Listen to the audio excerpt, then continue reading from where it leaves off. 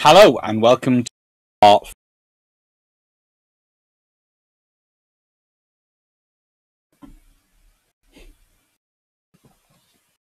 campaign and um, well this is the rest of the war because I realized that when I'm talking through part three, I'm mentioning quite a lot about the commando operations and what other things gets up to uh, happens in Norway during World War II, rather than just 1940 campaign. So I hope you'll enjoy this slight extension of the Norway campaign. As usual, if you do like, please like, maybe press the subscribe button, the little bell slightly further along. I've got a great Patreon and Discord chats. Hmm. I can never decide which is more fun. I take topic suggestions from both, but the patrons get to vote on it, whereas the Discord one, I have to. I, I just get all pads. Like, right then, I can only avoid this for so long. The Quislings.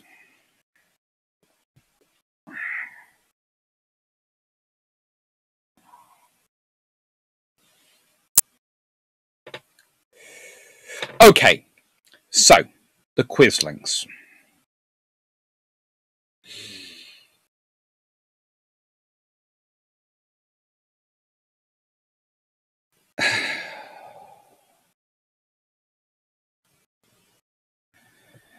I'm going to zoom out for this one so I can do a bit of reading. Right. There is Joseph Terboven on. Well, it's on the right of the picture, but I think it's going to be the left as you're viewing it, and to the right of center uh, as you're viewing it. Sorry, is um, Vidkun Quisling. Now, Vidkun Quisling, as I've said, visits Hitler in December 1939, and that's when I start to date the plans of invasions of Norway from. Although Admiral Raeder had been arguing for him for much longer than that, because of the advantages of it for the Germans in terms of the Battle of the Atlantic. Now, here's the fun thing. Vidkun Quisling. On 9th of April 1940, uh, at 7.32, visits the Studio Norwegian Broadcasting Corporation and makes a radio broadcast, proclaiming himself Prime Minister and ordering all resistance to halt at once. The question I ask is, I presume the Norwegian Broadcasting Corporation has, I don't know, security? Doormen? An actual resolve to have democratic things followed and follow the rule of law? Why is he being allowed to make a broadcast? What is his status? Because the reason I can say this is because every time he goes to any official in government, he gets told to basically feck off and and they, they ignore him. But the Broadcasting Corporation allows him to make this freaking announcement. Who cares?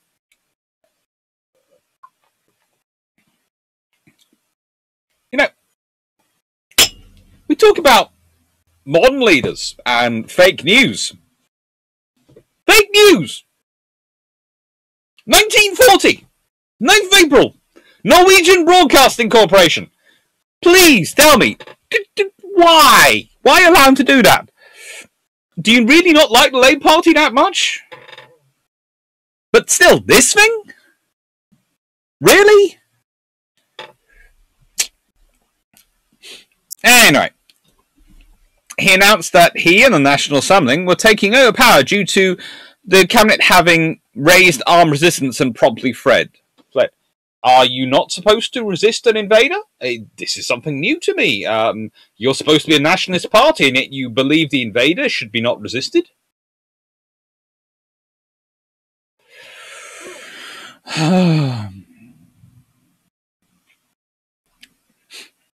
The Nivigov, uh, the Nygaardsvold Council, this cabinet at this point, had um, only moved to Elverum, which was about 50 kilometres from Oslo.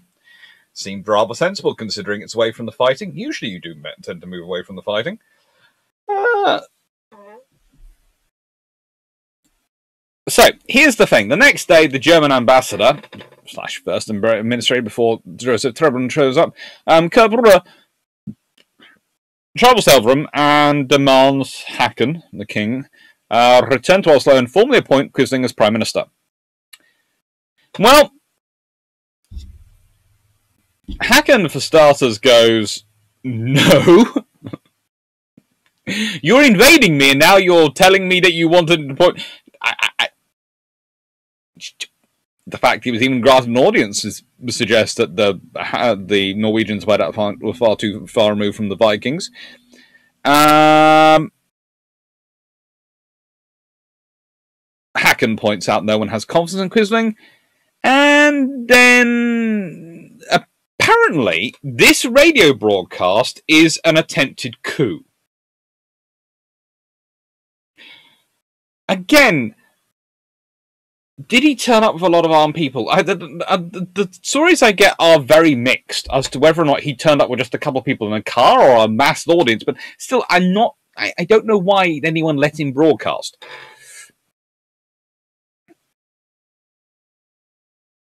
And then Quisling is not appointed as prime minister because the cabinet decides not to, because Quisling basically tried to do it anyway. And also, Quisling has no power. He has no support in the government, in the parliament, no support in the cabinet, no support anywhere, no one, no support in the people. Why would anyone make him prime minister? So, Quisling tries to have Neugold at uh, cabinet arrested. But the officer he instructed to carry out the arrest ignored the warrant because Quisling had no authority. And the officer, although I haven't found this exact the quote anyway, but I do have to wonder if the officer asked how he got into his office in the first place. In fact, if I was the officer in question, I'd probably be going, Does no one close the doors anymore? Do you see what comes in?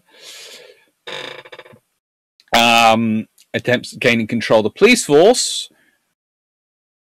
fail because Welhaven might have asked the questions why, on what authority, who are you? There are so many options that could have been asked of Quisling at this point by anyone. Um, the coup, coup is technically considered to have failed after six days. The Germans stopped supporting it after three. Classified as failing only after six days. And then Quisling has to step aside in uh, uh, parts of Norway in favour of the Administrative Council. I would argue that at no point does he step up. I would argue at no point does he actually have any power or influence or actually have the ability to tell anyone to do anything. In fact, Quisling is the definition point of how big an idiot do you have to be to be no longer be a useful idiot. Victor Quisling at the beginning the, during the Norway campaign. And I would also like to note that just as Victor Quisling steps aside at this point as being, and I realize all the stuff he does later in Norway, he is not a nice guy. He is useless as a leader in Norway and various other things. But leaving that to one side, I find it so hypocrite. He, says he announces he's stepping aside as leader. He, he's not. He's not. He's not leader. So how can you step aside from him? It's like me saying I'm step asiding, uh, stepping aside as the seventh member of McBusted. You've all heard my singing. I am the mythical seventh member. Yeah, I've never met them. I have never been uh, sung with them or anything. But I am the seventh member of McBusted. Yeah, right. Ay, caramba. This is how little power he has. Ministry of Council is formed on the 15th of April by members of the Supreme Court and are supported by Norwegian business leaders, as well as Brø, and takes over the administration.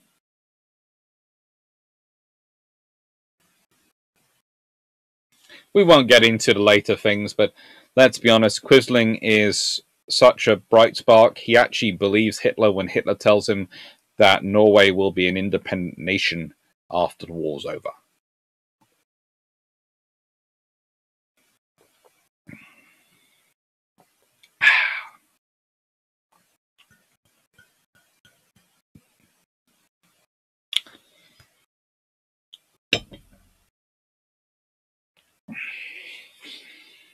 Get on there.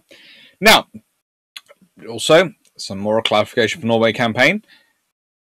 Spitfire. And Spitfire. No, no, no. You're not seeing things. No. Spitfire. Spitfire. According to German pilots who get shot down. No Spitfires appear in the Norway campaign. But the Blackburn Skua does shoot down the. Uh, it does carry out the first actual shot that a shoot down of an enemy aircraft in World War II by the British Royal Navy and possibly by the British over Norway.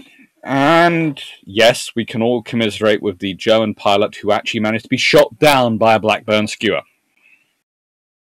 And um, yeah, there was a little competition also between Warspite swordfish spotter aircraft and the various other spotter, swordfish spotter aircraft over what they could do to German planes as well. It's not nice. They're not nice. So, what else goes on in the war? Operation Claymore. Operation Claymore is the first commando raid in World War II. And interestingly enough, quite a lot of the officers, invo- officers involved and the ships involved had been involved at Namsos and had been involved at Narvik. And had several of them had met Fleischer and Carton de Wiart, and those officers certainly inspired a lot of the stuff that goes on here. Operation Claymore is that first commando raid and it's the first proper commando raid as we'd understand it. It uses Queen Emma, Princess Beatrix um, as the landing ships. They're carrying landing craft assault and landing craft mechanized, so quite good mix. There are four tribal class destroyers. There's HMS Legion, which is She's an air class destroyer, but she's fitted with an all 4 inch armament, so she's pretty much an air defense destroyer. Most of the tribals have now, by this point, had their X mount replaced with a double 4 inch as well, hmm. so they have plenty of AA firepower between them.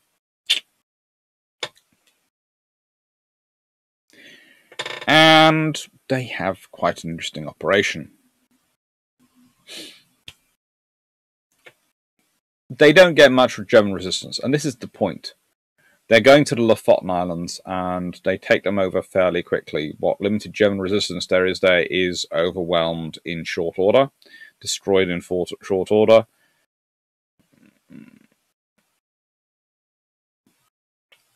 Some of the most resistance they get is from an unarmed coastal ferry, where the German equivalent of the Entertainment's National Service Association Group put a gun to the head of the ship's captain so that Bedouin had to sink the ship, then rescue the survivors, including the officer and the captain. The officer was had his gun removed of him and was basically called a prat by everyone. The idea that one side in any war has a monopoly on the prats and the twats. No. Right. Aftermath of Lofoten Opera Raid Operation Claymore. As you can see, lots of things were smoking. This, what was the point of this raid? Fish oil. Needed for lubricating things. And destroying it was very useful. Also, most of the Royal Navy destroyers went back with a huge amount of fish on board. I mean, they loaded up with tons, and fishermen, and fishing boats and other merchant ships which were wanted were taken back. Although uh, some Royal Navy landing parties were very disappointed that the ships they were aiming for, refrigeration ships, were actually destroyed by tribal class destroyers because no one had told them that they wanted that particular ship to go home in, so they thought they were supposed to just blow it up. Lots more raids follow. Lots, lots more raids follow. Including the Arethusas get involved in a lot of operations in Norway because, again, it's confined waters going into fjords, rather like the Mediterranean. So, Arethusas and tribal class destroyers and some of the other larger destroyers become the big things. Motor torpedo boats become very, very important as well. After Operation Claymore, you have Operation Gauntlet, Operation Anklet, Operation Archery, Operation Musketoon, Operation Freshman, an unknown operation, Operation Cartoon, Operation Crackers, Operation Brandy, Operation Roundabout, and Operation Checkmate. Here's the interesting thing. There are 2, 4, 6, 8, 10, 11, 12, including Claymore, listed operations for Norway.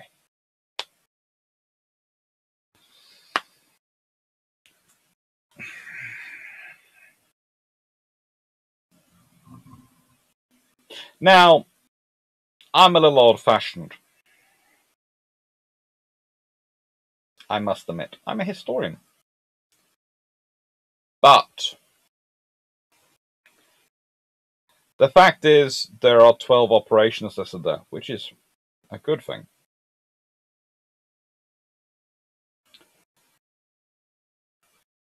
But those are 12 operations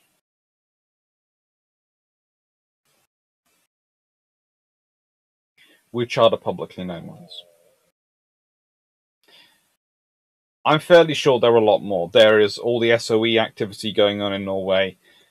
There are all sorts of operations which are taking part in terms of reconnaissance operations, keeping an eye on the German forces, monitoring their movement, monitoring the large ships based there, doing out reconnaissance for air attacks and all sorts of things. There are hundreds of operations conducted in Norway during World War II.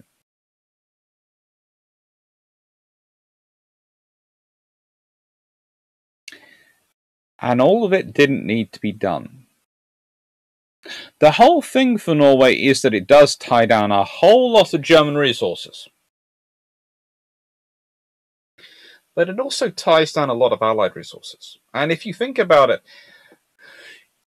imagine the Arctic convoys with Norway as an Allied power. Imagine the North Atlantic Campaign with Norway as an allied power. Imagine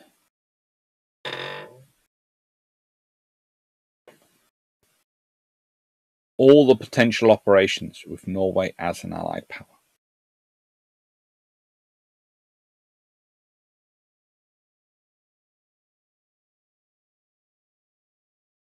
You want to open up a second front? Do you do it from the UK and go into France, or do you do it into Denmark and go from Norway?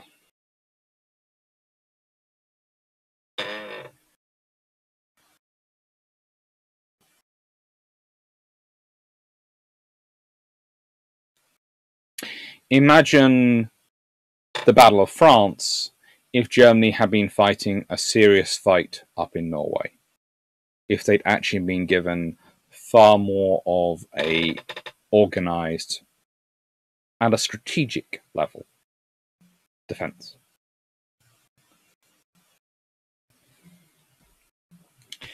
So that's what part five will be about. And I had to go into the Quislings at some point, so that was this one. Hint will have some warnings on it. And the various operations that take place, the various rather cool operations. If you really want fun, look up Operation Anklet. It doesn't sound like it, but they do get up to some really weird stuff in Floro. And Operation Archery in Vagasoy do as well. Um,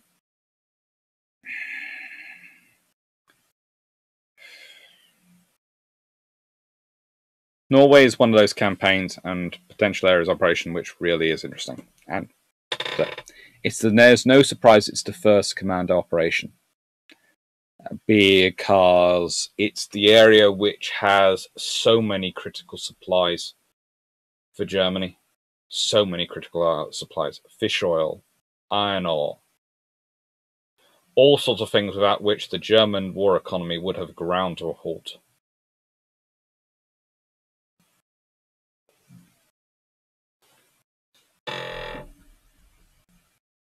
Fish. Anyway, thank you. Hope you enjoyed part four of five